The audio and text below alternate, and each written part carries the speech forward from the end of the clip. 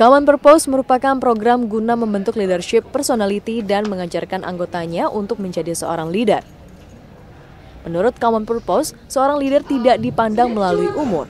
Berapapun umurnya, setiap manusia dapat menjadi seorang leader.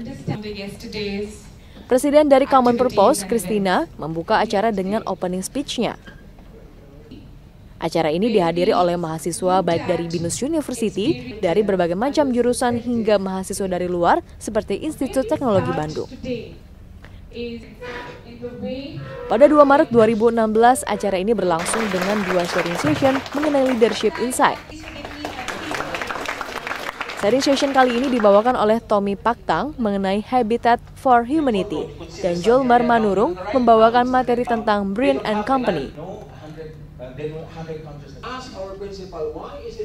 Program Common Purpose ini mengajak peserta untuk berpartisipasi selama empat hari.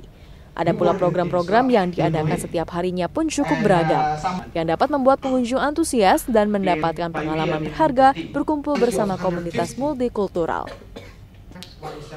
Common Purpose memiliki kantor cabang di United Kingdom dan beberapa cabang di 10 negara besar lainnya.